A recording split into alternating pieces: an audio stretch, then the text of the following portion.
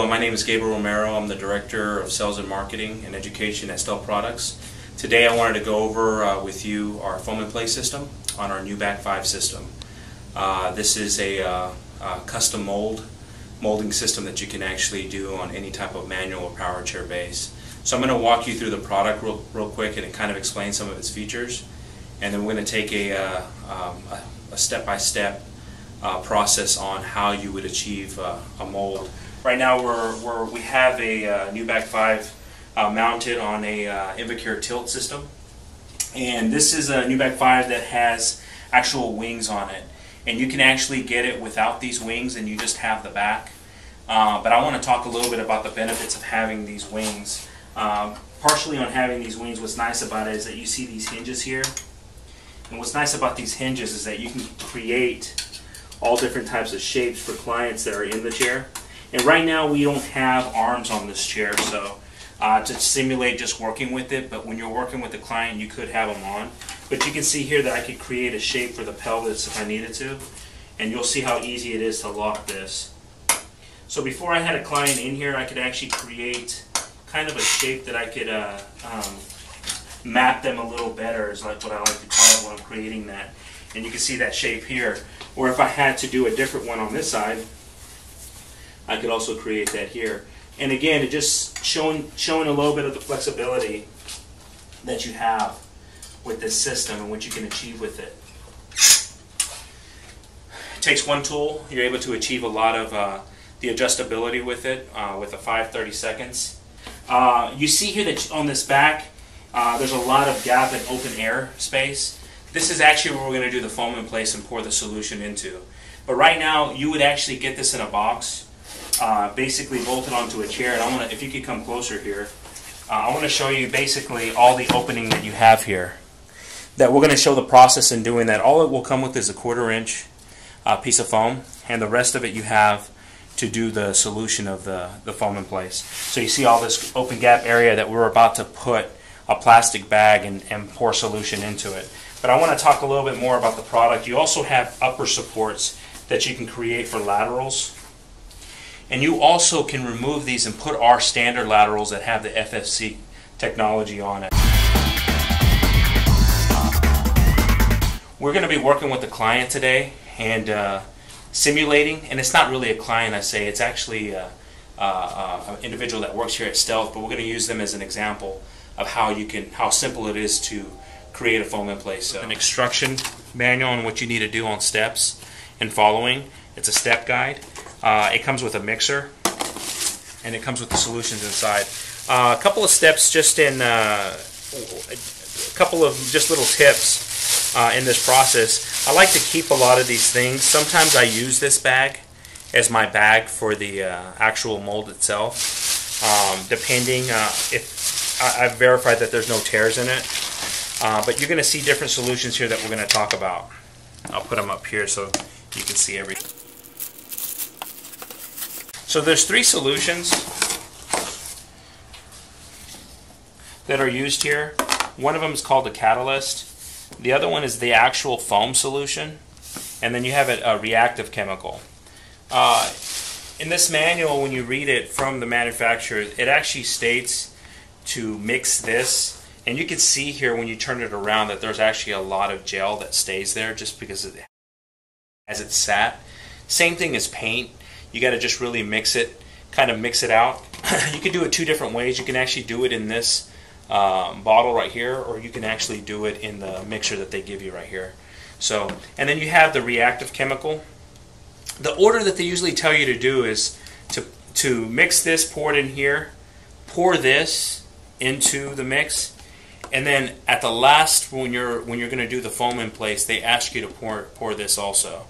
And then you have about 45 seconds before this foam starts to grow into the mold that you're going to take. So in this process, we'll kind of try to explain that a little bit. But um, these are the three solutions that you'll end up using and mixing through it. Yeah. So now we've prepared the actual chair uh, to get ready for the pour. So you can see that we've actually placed some plastic bags on the back side of the chair because that's actually where we're going to pour the solution at. So you just put some, you know, plastic bags, any kind of trash bags. Most of the time you won't ever get any solution on it, but it's just in case something happens and it comes out a little bit faster. But we've also placed a plastic bag in the back. I like to call it a catch-it-all bag. And basically what's going to happen, here's where we're going to pour our solution into, into this plastic piece that's in the bag. But then what we'll do is we'll pour this bag in here and all the solution is going to start falling in here. You'll see it when it starts to grow. So now that we've prepped it, we actually have our catch-it-all bag, and then we actually have the bag that we use for the solution. And in this bag here, basically, what you do is you unzip it, and you can see here you have two spots that you can place it at. This back spot is just a little sleeve where a piece of foam's at. That way, uh, the client never feels any of the mounting hardware on the back side of it. Kind of protects them when they're when they're back there. But basically, what you do is you just basically tuck everything to the very bottom and make sure that the plastic bag's at the very, very bottom. And then what you'll do is just zip it up just slightly.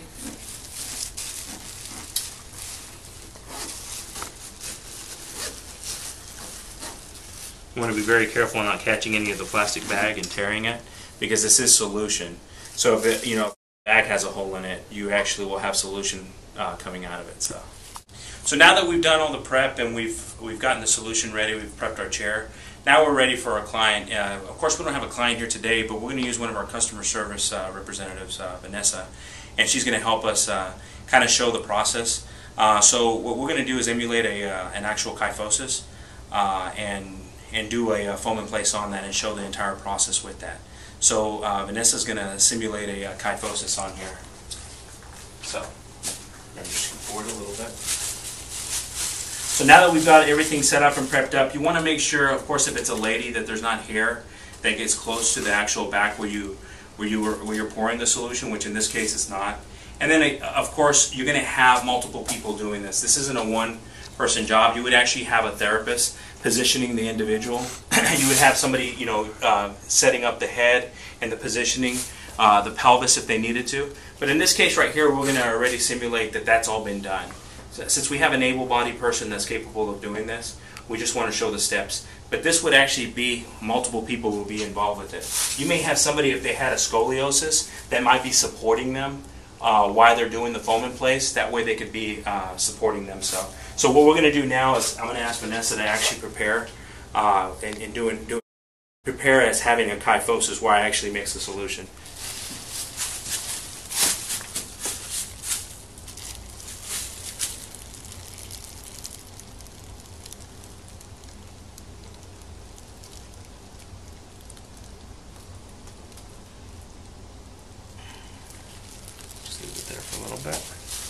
What you want to do is kind of let the solution take mix. You don't want to pull the bag up because then what you'll do is you'll get an actual uh, mold that start coming up, but then you, you do want to pull the zipper up though. So you do want to pull the zipper up, but you don't want your bag to, to come in because you want it to kind of take a shape.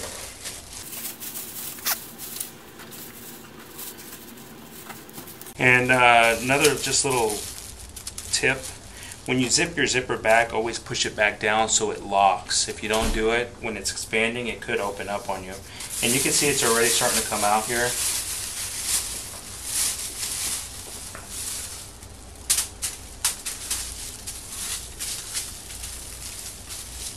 So you'll kind of just let the solution kind of start to expand and flow out.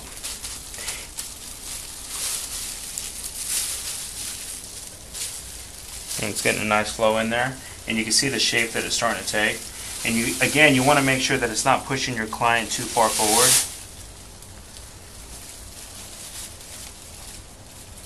So you want to just hold position.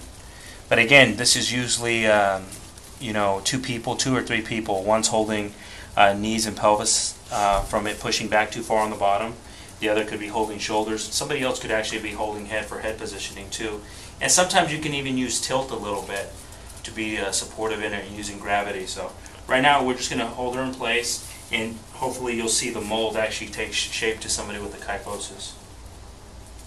And also if you had belts um, uh, that you needed to put in place of it, you want to have the belts in place, especially a pelvic belt and everything. So we'll allow her to set a little longer. And then you can start kind of gauging it. Right here it's still really soft. This will start to get hard and then of course it will actually start to take uh, its shape all the way down too. But you can still see, even with filling it, you can still feel that it has. It still needs a little bit of time to get soft. Go ahead and pause it. So now that the solution is set, you can see it's gotten hard. Uh, basically what you can do is pretty simple. You can come in here and just start to cut the foam itself. Just be very careful not cutting the upholstery. You can see you just leave a little bit of the the actual foam there. There you go.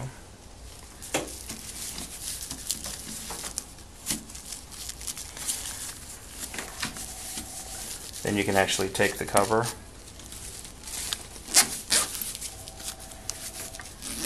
and zip it.